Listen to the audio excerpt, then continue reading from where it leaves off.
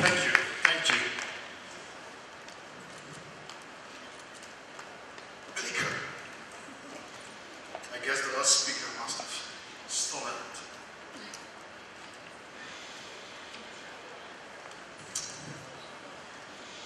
Nobody can pronounce my name, I guess, in this room. I'm originally Polish, and my name is Grzegorz Piechota.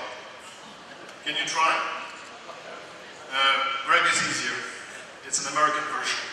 I've been a journalist all my life. I spent 20 years in Poland working for the biggest newspaper and magazine company and television and whatever. Right now, I think the, the biggest revenue is coming from cinemas. So the most profitable product is popcorn.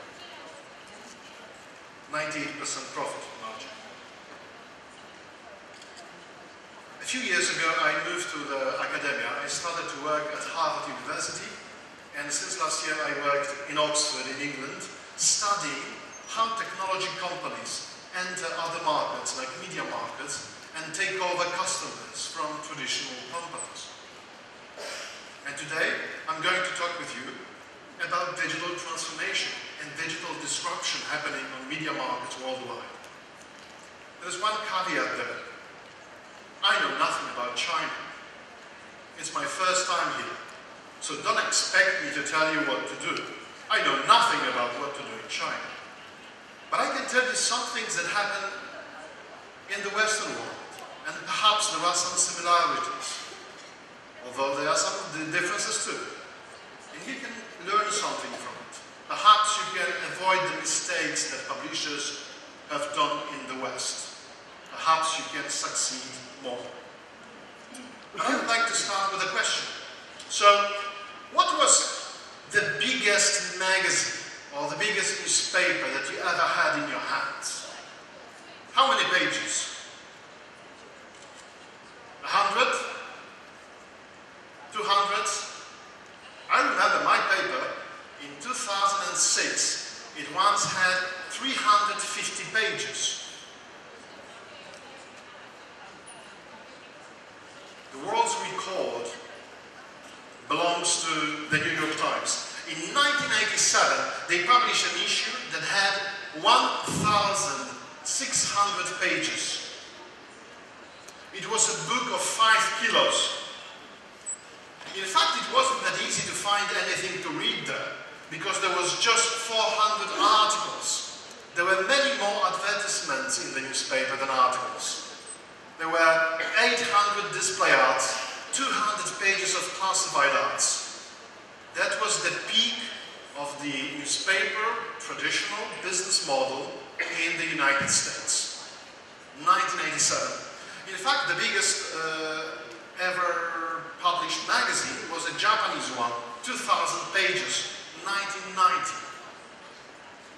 What happened next? The digital happened. So what happened is that people no longer needed to go to a newspaper or a magazine website to get different types of content. If you wanted news, you could go to news sites. If you wanted to learn about business, you could go to business sites. Sports, sports sites. If you wanted to learn what other people think, you didn't need to look for letters from readers. You could go to a messaging platform. You could go to a social media network. You could go to a, to a blog. If you wanted to buy something or sell, buy a car, sell an apartment, you could go to a marketplace website instead of a newspaper. If you wanted to learn about a new car, a new BMW, you didn't have to go to a newspaper website and try to find a BMW ad. You could just go to a website of the BMW and learn everything about it. Just unbundling news from marketplaces decimated the revenue of the newspaper industry in the United States. As you see, the consumer revenue was stable. The circulation revenue, what they got from selling the copies. It's the advertising that was completely decimated by the entry of companies like Craigslist or Google that would be comparable to what you, what you have from your Weibos. But then, the unbundling, as we call it, it continues. So today, no longer you need to read the whole article to get parts of it. If you are interested just in headlines, you can use, you know, uh, websites like, like, like, like, like Weibo. If you want to just see pictures, you can go to WeChat. If you want to get just comments, you can use social networks. If you want, you know, learn about recommendations, what else could you read? You can use, you can use these news apps that aggregate content from many sources. You don't need to go to any particular brand website to learn that. And in fact, publishers are, you know, helping and bundling their content. So these are the biggest publishers in the United States. BuzzFeed, CNN, Fox, Huffington Post, the New York Times, Vox, Wall Street Journal, Washington Post.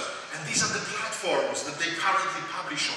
It's Amazon Alexa, Apple News, Apple Watch, Facebook, Flipboard, Google AMP, Instagram, uh, whatever, uh, Kik, uh, LinkedIn, Line, List, Messenger, mobile app, Pinterest. 22 different platforms. The more they unbundle their content, the less value it has. And you can ask, of course, yourself, is China much different? What are the most popular entry points for news for Chinese consumers? Are these publishers' websites? Are these publishers' apps? Or rather aggregators and social networks? Unbundling is happening all over the world and it's changing. And it's, and, and, and, it's, and it's happening because consumers get new choices that they use. Then the second wave, we call it disintermediation.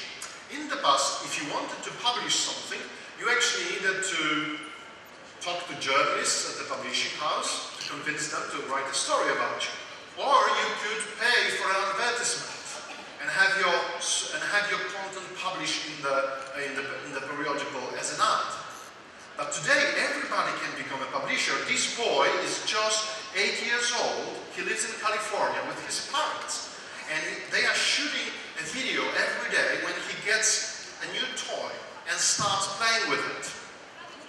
This is actually the most popular children television network in the United States. They have 14 million channel subscribers on YouTube. Compare it with 400,000 of subscribers of Cartoon Network, that is very well known children's television. Or the most popular children's television in the States is called Nickelodeon. One million subscribers. So Ryan, with his parents, is running a bigger media company than established TV stations do today. If we talk about the size of their audience. And by the way, they are millionaires already. The biggest challenge their business faces is that Ryan is aging what can they do if he, you know, gets too old to play with the toys? The business is dependent on them having more babies. And then what the platforms do, the platforms provide users with new publishing tools. You get a sort of a free content management system and free distribution system.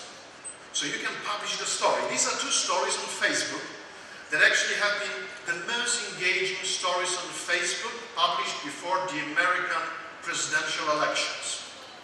One of them is published by the respected Washington Post, a very respected newspaper. Uh, the article is written by Anne Applebaum. They are very respected columnists. The other story is published by a website nobody knows. It's called The Daily, the Daily Presser. And the author is hidden under the nickname The American Patriot. One of these stories is true, the other is false.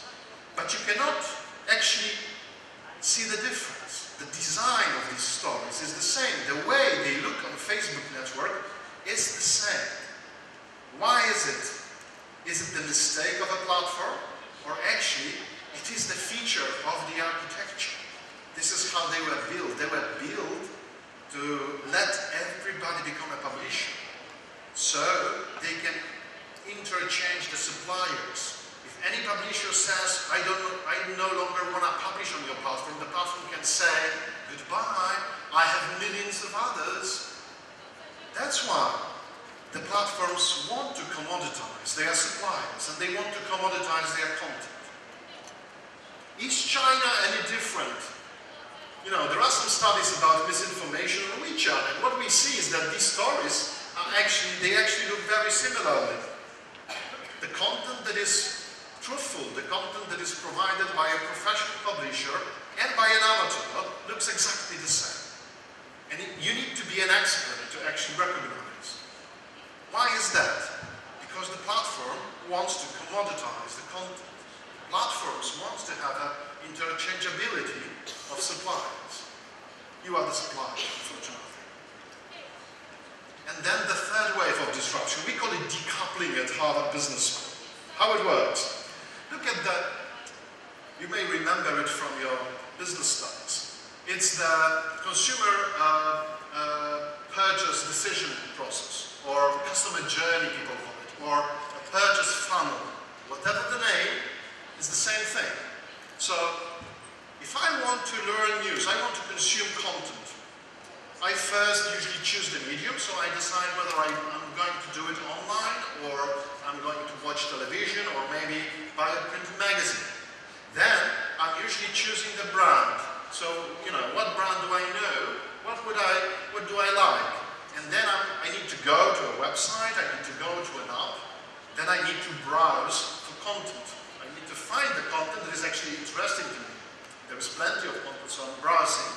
And then finally, I'm consuming content, and by the way, I'm noticing the ads. The thing is that from the perspective of a publisher, what is important is that somebody visits your website or an app, consumes the content, because this is the opportunity for us to show the ads and actually make money. But you know, from the perspective of a consumer, it's not that easy. From the perspective of the consumer, you know, choosing the medium, brand, visiting a website, then thinking about, you know, where is my content, searching for it. It's all, you know, it's effort, it's time, it's money. They hate it. They don't need it. It's useless. It's eroding the value. What they want to do, they just want to get to their content. And by the way, I don't know, I know nothing about China, but in, West, in the West, people hate advertising. People just hate the ads, especially online ads. They are very intrusive. They just hate it. They, they would do anything to avoid them. And this is what they do with technology. By going to Facebook, for example, in the West, what you can do, you don't need to think about a brand, because all brands are on Facebook. You don't need to actually, you know, think about which website, whatever. You just go to one app that you have on the first screen of your mobile phone. And then you don't need to browse for content because Facebook has all these algorithms, artificial intelligence, that will be choosing just the stories interesting to you. So actually you save time, you save effort, and you save money, and you get right to the content that you want to read. And by the way, there is fewer ads. So it's the consumer that is using technology like a platform like Facebook or like WeChat to actually do minimize the costs and uh, maximize the value that they get from a product. It's the consumer that is the disruptor. When I've done a survey among the world, publi world publishers, what, I, what, I, what, I, what I've heard is that most of publishers, 82%, told me that digital display advertising is their main business model in the digital, despite, as we see, it's completely disrupted.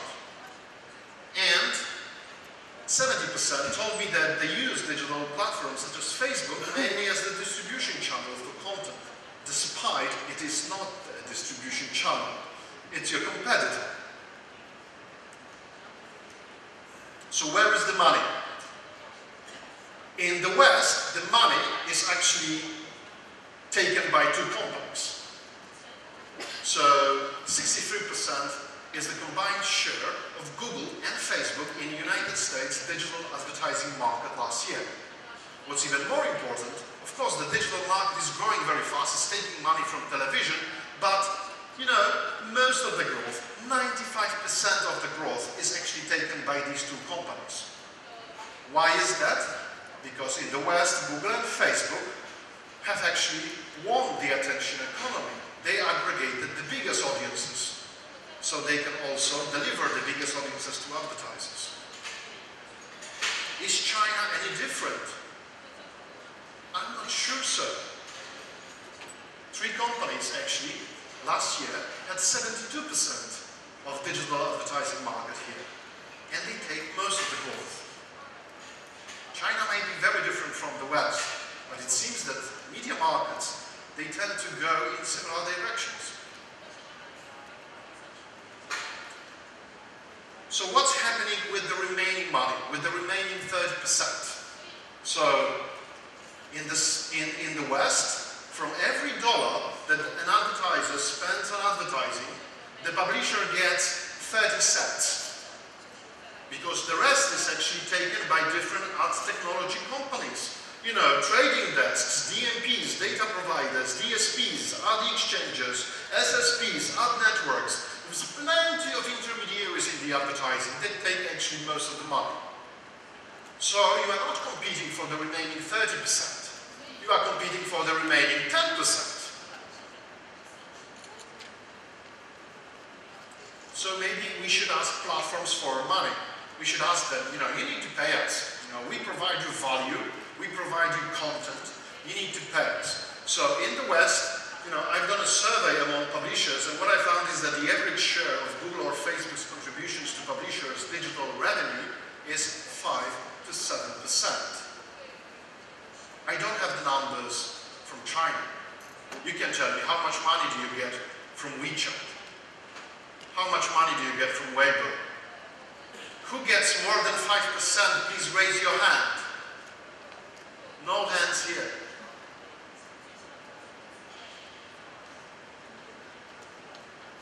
You can, you can think that maybe the biggest players can get more money. So this is the benchmark study from United States. The biggest players like the New York Times, the Washington Post, ABC Television, CBS, they get no more than $20 million from four major platforms in the West. YouTube, Facebook, Twitter, Snapchat. $20 million may sound like a lot, but it's not. Think that, for example, the newsroom of the New York Times costs $250 million a year. So how to respond? Some ideas. You can lobby for, for interventions from the government. This is what some people do. In Europe, just the European Parliament, just a few days ago, they voted for so-called link tax. So the idea is that no technology company can publish a link to somebody's content without an, without an agreement. And of course, publishers think that they can charge for the agreements. Unfortunately, there have been countries in which such a link tax was already introduced. It was in Spain. The platforms just dropped all the news publishers from search. They just didn't care. There's too many other publishers that want to stay there. So what about launching your own platforms? There are publishers like Axel Springer, you've heard, you've listened to them today, like uh, Naspers from South Africa, like Schibsted from Norway, that have actually managed to build their own platforms. Unfortunately, these markets seem to be winners take all markets. It means that the first player that gains the highest uh, share actually takes most of the money. And all the others just, you know, take the rest. We are talking about, you know, like the leader can take 70 to 80% of the market. So maybe we should build alliances. Maybe the publishers should come together, share the data, share technology, maybe even share customers. There are such alliances being launched all over the world in different countries. They are very new, one year, old, two years old, three years old. We don't know the results yet. The thing is that, of course, they are competing for the remaining 30%, or 10%, however you calculate it. It's not going to fund the whole industry. Maybe we can also make users love ads. Do you believe that? No. Nobody loves ads. Okay? So maybe let's come to the root of the problem. The root of the problem is decoupling. The, that, that the user wants to actually avoid activities that uh, the user hates and focus on activities that give them value. Why, how can we make money here? How can we make money here without making people, you know, looking at the yards, just to be sure that we make money whenever we publish any piece of content. That's how we come to the question, who else can pay for our content? Who derives value from our content? Let me give you an example of the New York Times. So, of course, they charge consumers. They have digital subscriptions, and a big growing business. But it's not all. Content marketeers. There is plenty of companies that actually have so complicated products that they want to tell stories about their products. And who to hire to tell your story if not uh, the best provider of content? So they hire the New York Times to actually write stories about products. It's not the, it's not the newsroom, it's the separate team, but they actually prepare content about products. What about selling stuff? The New York Times invested in a company that uh, publishes reviews about electronics and then takes a cut from retailers if they lead, provide any lead to a customer. It's called the wire cut. Then they started to ask people for money. It's like donations. They say, if you believe that kids should grow up without false content, you should sponsor subscription to kids. You should sponsor subscription to students so they collect donations. And of course they also sell content through syndication to other publishers.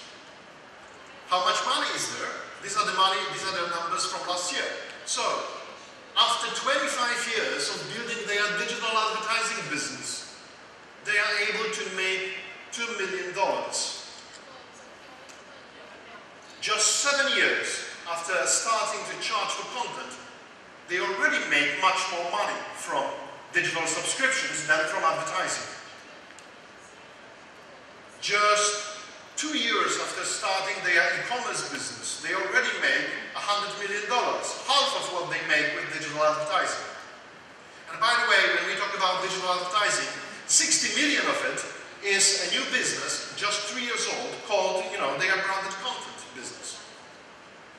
So, what I mean is that for 25 years, publishers trying to hit, you know, wall with their heads, trying to make digital advertising work, and they obviously lost the digital platforms. When one publisher started to look for other business models, all of them seemed to be more successful than actually trying to make the whole, the, the old business model to work. And when we look at the value you know, they have like 140 million visitors around the world. But when they are, when they don't pay a subscription and they are just monetized with advertising, you know, the New York Times is able to make two dollars per user per year. But when a user becomes a subscriber, they make suddenly $140 per head. But when they find sometimes somebody who wants to sponsor a student subscription, they found one guy who wanted to pay a million dollars for it. What it all means? We need more business model innovation. Because the product innovation is absolutely not enough. We've been changing, we've been digitizing our newsrooms. We've been creating apps for, you know, decades now. It's not enough. It's not going to save the business. What's going to save the business is that we need to start innovating with the business model that underlies it. Most common business models among publishers, digital display advertising, just a half of publishers started to do something with digital subscriptions. One third started to do something with e-commerce. Far away. So what's the change ahead? Most publishers I'm talking to about subscriptions, they say, you know, it always starts as a pricing thing. So it's just marketing department. Oh, we used to have a free content online and now we try to charge. It's a new pricing strategy. Marketing is responsible. It's not a big deal. But then they quickly realize people don't want to pay for what they used to produce. They need to actually start changing the product. And when they change the product, they find that they need to be organized in a different way to do the right product, to be able to sell it. So what they change, they actually change the business model of the company. So this is the second stage of digital transformation, when people realize it's just not about charging for content, it's actually the change of the whole business model, how you create value, how you deliver value, and how you capture value. But then, when people get there, they realize that actually they need to change something more. They need to ask themselves the, the, the most important question. What's the purpose for the company? What's really the business we are in? Are we in a business of producing content? Are we in a business of selling the arts? Are we in the business of providing information? Are we in the business of actually giving people solutions to their problems? What is really the business we are in? Let me give you just one way of to, to, to look at it. So traditionally, we were product-centric companies. We were managing products. We were focusing our businesses on products that are profitable. We were thinking, okay, we have a great product, how many customers I can sell it to? But today,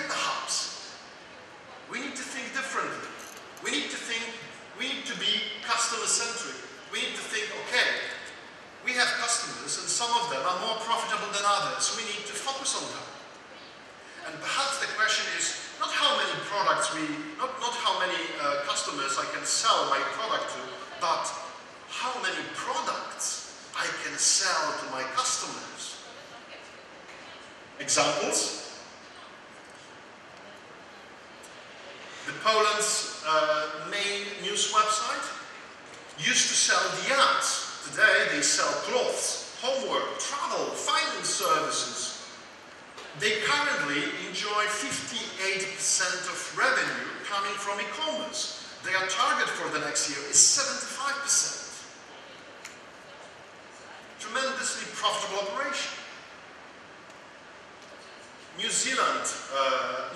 Zealand is a very small country. You cannot compare it to China. It's smaller than Wuhan. The whole country is smaller than Wuhan. So, you know, how many subscriptions can they sell? They cannot sell, you know, 2 million subscriptions. It's just impossible. There's less people in the country. So they started to sell video streaming and broadband and electricity. And the recent product advertised here on the front page is actually health insurance plans. It's not that the company started to build hospitals. They buy services from other hospitals, they package them together, they put a brand, and they sell it to their customers. It's about selling more products to the same customers. This is the business that they chose to be in. Another example, business to business. So the American company Bellapro started to think that, you know, the advertising is taken over by Google and Facebook. But, you know, in fact, people don't spend that much money on advertising anymore. When you look at companies spending, they spend increasingly on so-called marketing than advertising. They spend on sales promotions, then spend, they spend on events, they spend on uh, uh, uh, discounts, they spend on sampling, they spend on many other services, on their website, on content creation, on Facebook, on you know having social media editors to do stories and pictures on Instagram or you know your WeChat and, and so on. So actually they spend a lot of money on marketing, not that much money on advertising anymore.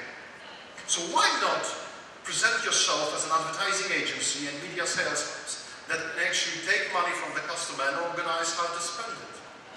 So this is what Belo is doing. 40% of their revenue is now coming from this kind of integrated marketing business. And the last example from UK, the company that is absolutely, uh, absolutely uh, amazing, Ascential. They used to be called Emap. It was a magazine publisher like many of you. You know, they used to publish magazines about everything, cars, you know, nursing, whatever. And they just decided that it's time to focus. And they focus on the, on the business of consumer product retailers and consumer product producers, businesses. And they found out that these people, they need, to, they need information to make better business decisions. But they no longer maybe need that much journalism and stories, articles, they still have some magazines like Retail Weekly that, you know, you can read stories about, you know, what Tesco is doing, like big, big, big supermarket chain, what they are doing. But actually, most of the money that they make, they make with information services that are sold in digital via, via subscription. These are services like dashboards like this one. If you sell fashion, if you have a fashion shop, you want to know what's popular now, what's going on on Amazon, what's going on on other shopping websites. And you get this information in form of a dashboard. It's no longer about writing articles. It's about providing the information that actually helps you know, somebody to make better business decisions. 60% of revenue comes from subscriptions. So, to sum up, it's the customers who disrupt our business and not the platforms. It's important to remember we need to, we need to focus on what customers actually want from us. What is the problem that they face? Why would they hire us? To respond, we need to address the root of the problem, and the root of the problem is decoupling, that people can decouple consumption of content from seeing the ads. We need to find a way to actually make money with the content itself. We need to innovate more with business models and not just products. Perhaps you may consider charging for content one day, but you need to remember it's not the end game. We build infrastructure, we build relationships with customers, we start analyzing how they consume our content to be actually able to sell other things than just content. It's the start, not the end. And by the way, the opportunities in business to business, like formerly advertising, they still exist.